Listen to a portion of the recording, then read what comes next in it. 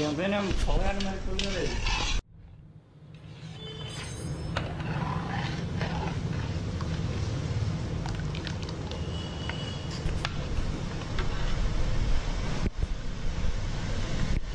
మైదా పిండి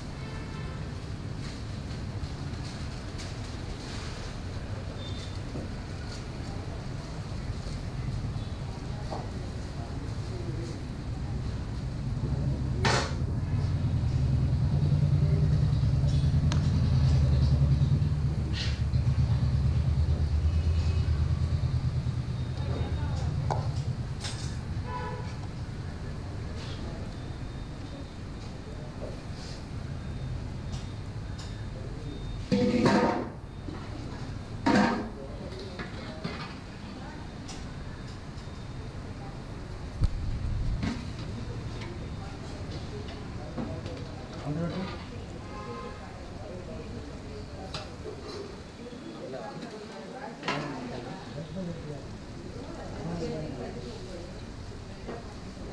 subscribe cho kênh Ghiền Mì Gõ Để không